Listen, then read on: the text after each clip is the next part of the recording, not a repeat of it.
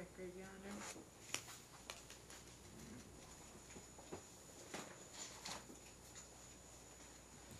Okay, in the matter of Horodesky versus Johnson, case zero six D three four nine seven four three. All right, Robinson, good morning. Good morning. Sorry, I just need to turn up the volume. Okay, and I see, uh, what's your bar number, Ms. Robinson? Good morning, Your Honor. Amber Robinson, bar number 10731, in an unbundled capacity today for Amber Johnson. Okay, and I see Mr. Horodesky is also here, and Ms. Fine, what a pleasure to see you for, for the first time. A Oh, pleasure wait, to see It's you. It's also a pleasure to see Ms. Robinson every time. Let me be very clear, okay? Nobody's getting slighted, but I haven't seen Ms. Fine in quite a long time. Good morning, Ms. Fine. Good morning, Your Honor. It's nice to be here. Fran Fine, bar number 25, appearing on behalf of Chris Hordeski and standing in for Michael Carmen, who is out of town. Okay, thank you. And so uh, Ms. Robin, no, Ms. Johnson is there with Ms. Robbins. Ms. Robinson. Yes, Your Honor. All right, so let's talk about. Um, first of all, I'm missing some orders still. Am I, Ms. Robinson? Yes, you are. You are. I did just send this. I didn't realize Mike was out of town. I just sent those to him this morning. Your Honor, that's I believe this is the fourth time. The fourth time, what, Ms. Fine? Fourth time this matter has been set to hold her in contempt for not getting these orders, and I have every date.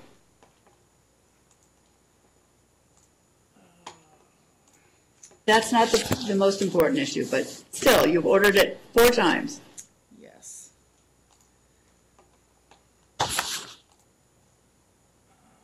And I do not have. December 28th, 2021. November 30th, 2021. December 31st, 2021. Yes, so which orders, let's see, so I am definitely missing March 28th, 2019. May 14th and July 22nd and 23rd, 2021. May 14th, 2021. And July 20 22nd and 23rd. July That's what it 20, was. July 23rd, 2021. Right. And then, uh, let's see, there was an order f- due from Mr. Carmen from December 15th, 2021. That's in. I believe. Your Honor, the uh, July 23rd. I, I know I only sent him two. I'm sorry? I'm just trying to figure out where I'm missing the, the other order. I'll have to go back and send him the order from 2019. I sent him today the May 14th and the July 23rd. You sent them to Mr. Carmen, Yeah, I'm handling the case, so I didn't receive them, Your Honor. How would I know that you're handling the case? He's been the acting attorney for years. Well, the court knew, so if the court knew, I'm surprised you didn't. No, I found No, out. you I didn't found out to be, to be fair. I found out today. But let's um let's let's get to the point. Let's see. We're here for um uh let's see. Dad filed a motion on December third, two thousand twenty-one, for suspension of visitation and for attorney's fees and costs. The alleged facts are the child has expressed fear of mom. In September 2021, mom shaved the child's head as a form of punishment. On October 21st, 2021, the child advised dad that he was being physically abused by mom. Mom made the child strip down and mom hit the child with a board. Uh, dad contacted CPS and was advised by the child's school to assume custody of the child. Uh, mom was arrested. Um, excuse me one moment.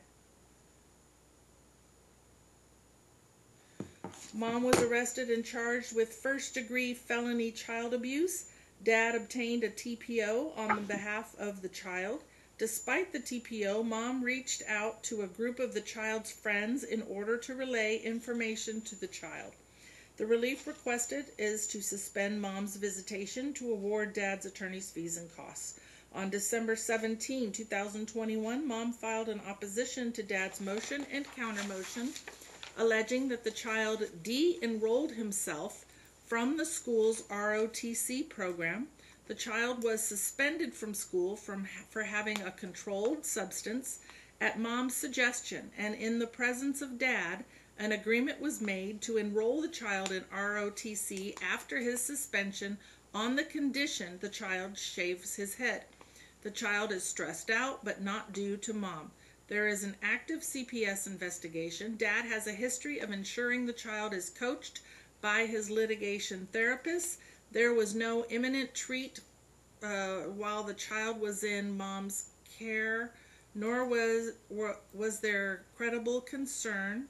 Oh, no, excuse me, I'm sorry. No imminent threat. There was no imminent threat while the child was in mom's care, or, uh, nor was there credible concern.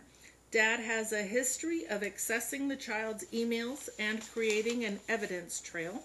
Dad does not give the child access to call mom of or for mom to reach the child directly. CPS advised mom that they did not remove the child from mom's care. Uh, mom did not intentionally add the child's friend to a group message. Mom has a friend with the same name that she intended to include in the group chat, not the child's friend. CPS determined that there is no threat to the child in mom's care. The child's grades are in continuous decline. The relief requested is to deny dad's motion to order dad to undergo a psychological evaluation by Dr. Paglini to include psychological testing at dad's sole expense, to award mom primary physical custody of the child pending the result of dad's psychological evaluation, to award mom compensatory time, to prohibit any engagement between the child and any of the past litigation therapists, to issue an order allowing mom to alter the July 16, 2020 order filed on February 22nd, 2021 regarding educational support and video calls between mom and the child, to order the child to undergo non litigious therapy with a mutually agreed upon therapist covered by dad's insurance.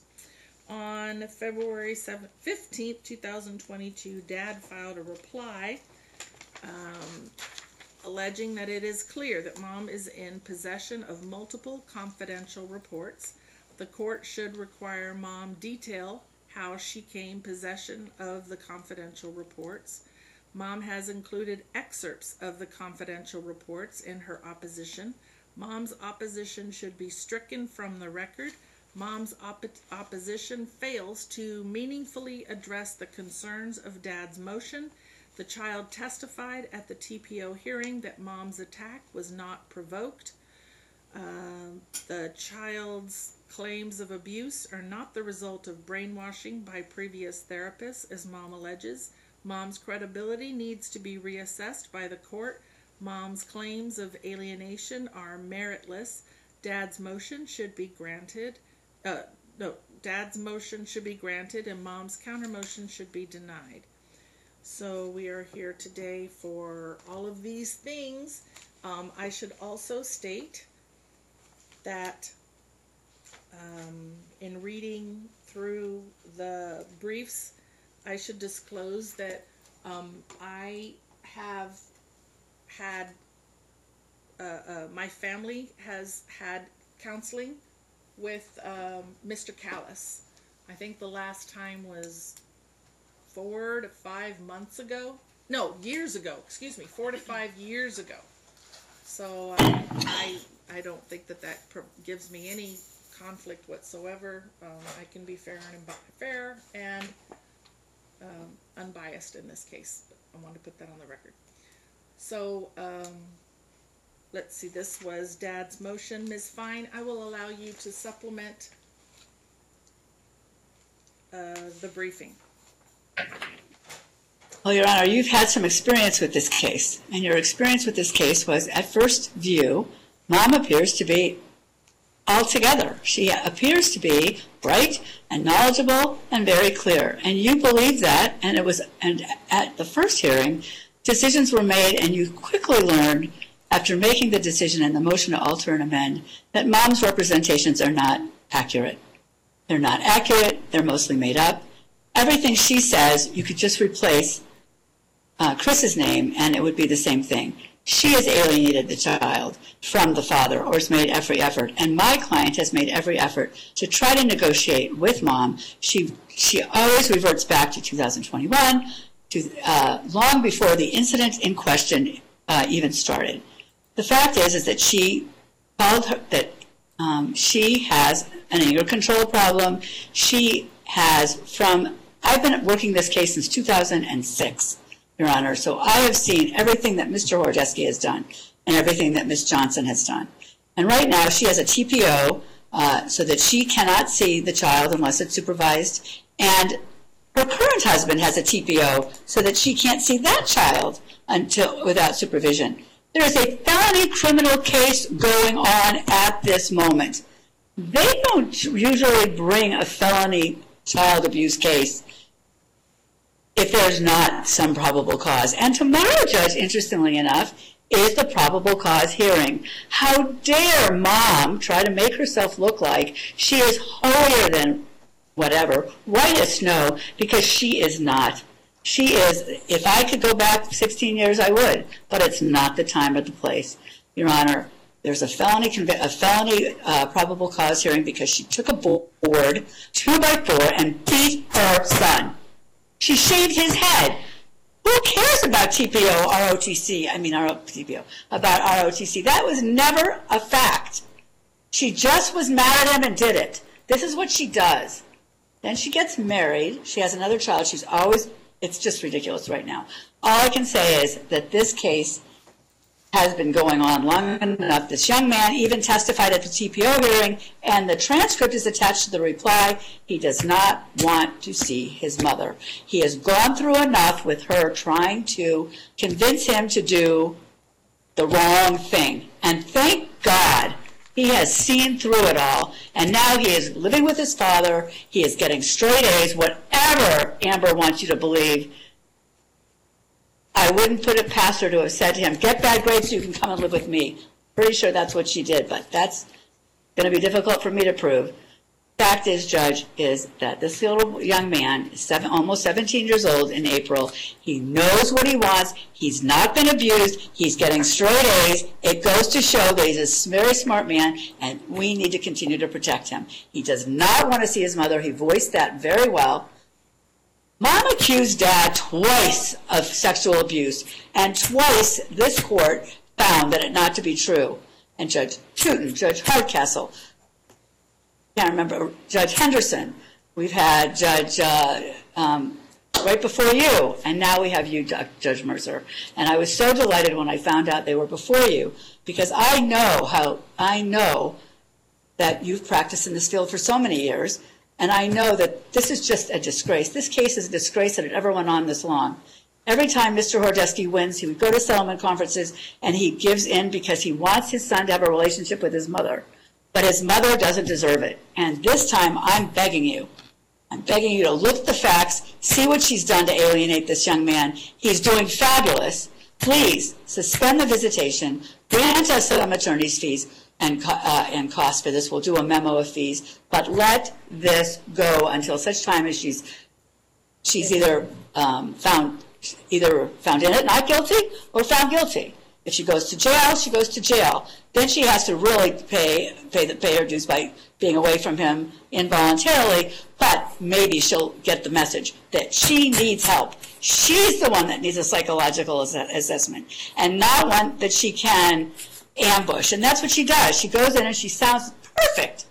I mean, and it's just a sham. It's just a sham. And uh, if I left anything out, Your Honor, I wish I could look at my client. I wish I could see him and say, did I leave anything out? And he could respond. He looks pretty content right there. Oh, good. I can't see him. Miss Fine, um, are you saying that the child's grades are all A's right now? He, I have his, his daily reports since he's been living with dad. He's getting straight A's. Interesting, huh? yeah, that isn't consistent with what she alleged. Oh, yes. I, I'm pretty sure she said get do, do badly in school. She would come to school. She was never allowed on campus. It's just an amazing story. It's like such psychological abuse. It's, it's amazing. Okay. Thank you, Ms. Fine. Ms. Robinson. Thank you. Your Honor, and while we were just speaking about the grades, if you look at Exhibit DD, filed on 2/21/22, base Up to number- what date? Um, just today's. end of quarter two. So page 122, And I, and you haven't accepted that, I would ask that that be stricken since I re- received it last night. I, I. Fran, can I, um, can I speak? It's my turn. Yes, Well, but yes. it shouldn't, it should be stricken. Well, um, um, go, go ahead, Ms. Robinson. You're saying that there's So- evidence that, that indicates that the, his grades are, I have current right now up on Amber's phone from Infinite Campus that contradicts what Ms. Fine just said. And then in her exhibits, we have a D in English, end of quarter two. What A page is it, D in please? geometry, end of quarter two. A D in chemistry, end of quarter two. Um, world history, he got a C. His semester exam was an F. His military ROTC was an F. Um, so for right now, And right now, what we have on Infinite Camp, they, on, they where- can't really see that. I don't know. But as an officer of the court on current Infinite Campus, quarter three, progress grade in world Good part. history. And the notes say challenges with completing work on established timeliness, performing significantly below expectation, need support with time and task management. That's in history. He, ha- he has an What are the dates? I don't have the page number, so I can't even look at it. Oh, she's looking at it on, uh, online right now. And I have, and I've got, so, s- because, Your Honor, because I received this last night, I couldn't send you the, the progress grades, but I have them right in front of me, and I could tell you what they say, and I could send them to you. How can you both Sure. have progress grades that are completely opposite from one another? Well, Right. I've got them. I'm logged into Infinite Campus. The quarter date is for the period of 1/4/2022 through 3/11/2022, and this is an It's Infinite not Campus. 3/11, 2022. We're at February 22nd. That's the quarter date, so this is his progress grade. So we are Okay. reading you his progress grade to date with any statements or comments that the teachers have. Chemistry, um, in progress grade is at a D, 68.83%. English, 54.85%. Says challenges with completing work on established timeline, timeliness, or timelines. Geometry, F, 51.63%. Health science. In danger of failing, it states. In danger of failing, fifty-one point seven two percent. health science, we have a D, 62.3%. Challenges, progress. sorry, the in progress grade is at 57.73%. Challenges with completing work on established timeliness, comes to class every day ready and willing to learn though. okay. PE, well, me- he does me- have an me-. Okay, hold on. Let me just cut to the chase. I'm not, I'm not gonna do anything today anyway. I have to know what's going on with the criminal case. And so we've got to put this off anyway. So I'm gonna maintain the status quo right now. There's a TPO in effect. Right? Um, so we're just going to maintain. So really, you're just going to have to repeat everything you've just said when we come back, um, depending on what happens in the criminal proceedings, because this sounds serious and it, and it, and it is very important to me to know, uh, to know what the criminal court is going to do. So, um, so really, we're just going to come back. And I would just ask that you extend the TPO uh, for as long as we need until this matter is, com- and you can set it for status checks. I mean, it was signed by Rebecca Burton, and uh, it just, I'm just concerned that it will expire and What we date? will be still in the midst of it. So right now, it's currently set to expire on February twenty-eighth, two thousand twenty-two, correct? It's, that's next week. Yeah, So I would ask that you extend it, and I would do an order. I think. And Your Honor, Supervised visits are allowed. it, it did say supervised visits are allowed. Um, obviously Amber has countered for primary. We do believe that data is an issue. And I think, Your Honor, after reading Amber's opposition, like there's very questionable timelines on dad's end of things. Um, you know, she's maintaining that, that nothing happened. Even from a physical standpoint, Your Honor, she was due to go into hip surgery within a couple of days of that incident. She could barely move, so she's certainly not sitting there, standing there rather, and swinging two by fours at a child. Um, This child had just been in a car accident at over 45 miles per hour, less than six days prior. Had been in both parents' care. Right, both parents care that day I of. thought- I asked him to come to the house for a well check. Miss I mean, he didn't want to Ms. come. Ms. Robinson, I'm sure you've cautioned your client. I mean, she's got pending criminal proceedings. I'm concerned about what she says here today. Um, can be used against her, so she just needs to be cautioned about that. Um, I'm not gonna. I, I'm, I'm gonna maintain the status quo, and I think it is appropriate to extend the TPO. But Your Honor, the TPO does say that for, it would allow supervised visitations. Yes. Is that anything that the court? And they're specifically set forth. They're specifically set forth when they will take place. Yeah. So, uh, yeah, we'll. I'll. I'll. Uh, let me pull it up so I know. Unless you want to just tell me, and as long as you both can agree, I won't Uh. have to look it up on when those supervised visitations should take place. I have so many papers right here, Judge. Oh, I, I get it. Um, Maybe. Had it on my computer, Alright, so here let we me go. The get. extended protective order was filed on January third. It is set to expire February twenty-eighth. And, uh,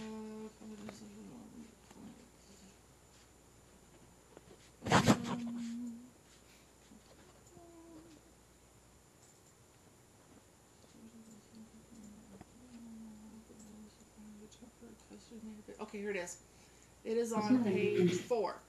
It says applicant, that's Mr. uh, Horodesky, is granted temporary custody of the minor child with the following visitation granted to the adverse party. The adverse party may have visits at the applicant's discretion based on the minor child's desires. The adult parties may communicate in any fashion to discuss visitation terms. So I don't see where it says anything about supervised visits. It just It's up to the applicant. Then there's another one that says, uh, and I'm trying to find it. Um, Chris, if you could just email it to me really quick again, so I don't have to keep looking. Um, which one is this?